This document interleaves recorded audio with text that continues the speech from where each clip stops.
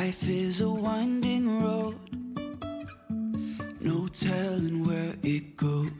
Hey guys, Amber here with a family, and thank you so much for joining me today as I walk you through how to play Hocus Pocus the game. One of my favorite things to do on the channel is to really just go through tutorials on how these games work. These are games that we love to play around the table, so of course I love to share them with you here on this platform and hopefully give you some great ideas of games that you can introduce to your family. Now during the month of October, I do have some fun spooky themed games, and this is definitely one that our family enjoys. If you're not familiar, um, Hocus Pocus is also a movie. So these games are really fun. You can watch the movie and play the game or vice versa. And it just really makes for a great themed family night during the spooky month of October. So without further ado, let me show you how this game plays and you can see if it's a good fit for your gaming table. If you haven't already, I'd love for you to hit that subscribe button and be sure to give this video a thumbs up. That really helps our channel grow. Well, to get started, you're gonna place your cauldron board in the center of the play area. You're also gonna need the witch's board and you're gonna wanna set that to one side, but just make sure all players can access it easily. You're also going to need the Binks mover and these four trick tokens, which can just be set out above the witch's board. Go ahead and place the sun token on the lowest start place on the witch's board and place the stun token nearby. You're going to find two sets of cards in the game. You are going to have ingredients cards and spell cards. Go ahead and shuffle the spell deck and place it next to the witch's board. Next up, take your ingredients card and give them a good shuffle. Depending on player count will dictate how many ingredients each player receives. We'll go ahead and set up a three player game, which means each player will receive four ingredients.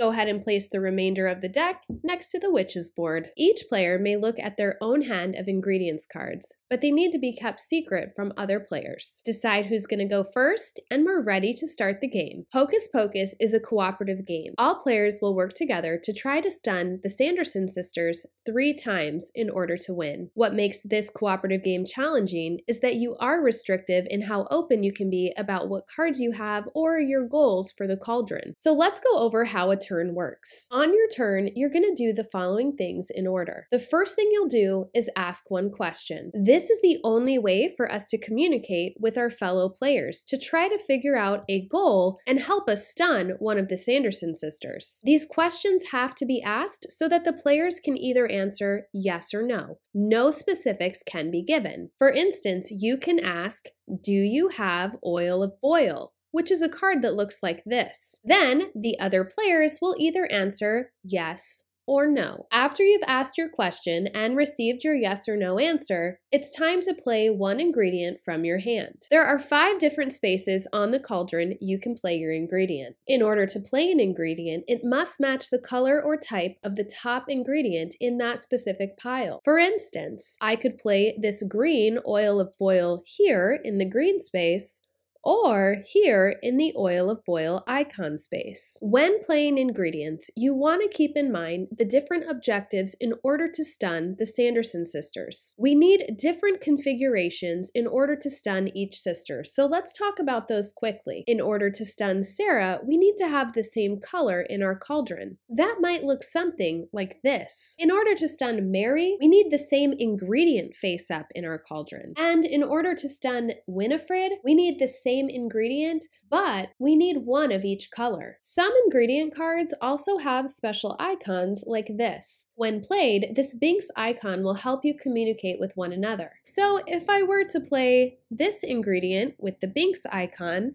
I will get the Binks meeple. I can then place this in front of another player or myself. Whatever player receives the Binks in front of them will play with their hand face up on the table so that all players know what ingredient cards they have. Binks will stay in front of the player unless another player plays a Binks card relocating Binks or the round ends. The other icon that may appear is this spellbook icon. When you play an ingredient showing the spellbook, the witches cast a spell. You'll need to draw draw one of these spell cards and resolve what the card says. Now, if it's your turn and you cannot play an ingredient, that will also cause the Sanderson sisters to cast a spell. You must discard at least one ingredient from your hand and draw an ingredient from the deck to replace each card you discard. Now, if you are able to play a card on your turn, at the end of your turn, you'll simply refill to replace the card you played. If the top card of all five piles in the cauldron match, either by color or type, then one of the witches is going to be stunned. Each time this happens and one of the witches is stunned, you're first going to move the sun up one space. You're going to put the stun token on the specific witch that you stunned. For this example here, since they're all the same color, that's going to stun Sarah. Now keep in mind, it doesn't matter which of the sisters is stunned. You may stun the same witch multiple times. You don't have to stun each witch. And once a witch is stunned, the round ends immediately. So if the ingredient you played had a special icon on it, that is going to be mute and you are going to disregard that. So let's talk about what happens at the end of a round. If you are the player to play the final ingredient needed to stun that witch, go ahead and draw your card as normal to replenish your hand. If there happen to be any ongoing spell effects, they will end immediately at the conclusion of the round. We're also going to gather all ingredients ingredients in the cauldron and the discard pile. Taking the cards from the cauldron and the discard pile, we're going to sort the cards into two piles. One pile will include all of the special ingredients that have icons, while the other pile will just be basic ingredients. Once you've sorted out the two piles, go ahead and take all of the ingredients that don't have an icon. These are going to be removed from the game and placed back in the box. Now, all of our special ingredients that have the icon are going to be shuffled into the remaining deck that we have. We're also going to need to remove Binks from play. He's going to be reset and no more hands will be exposed. And at this point, it's time for the new round to begin. The game is going to end in one of two ways. If the sun token makes it all the way to the top on the witch's board, all players win. But if you must draw an ingredients card and there's no more ingredients deck, that means all players lose. Of course, you will have the chance to play the remaining cards in your hand, but if you're unable to defeat the Sanderson sisters with the cards remaining in hand, then they win, and all other players lose. Now, there is one more element of gameplay that may help you defeat the Sanderson sisters, and those are the four trick tokens. Each trick token can only be used once per game. Any player may use a trick token on their turn, but once the trick token is used, you're gonna need to flip it over to indicate that it can't be used again. And that's a quick look at how Hocus Pocus the game plays. As I stated earlier, this is a game that our family really enjoys playing, and even though the recommended age is 8 and up, my 6-year-old does a great job because there's not a lot of reading in this game and for the most part, all you're needing to do is match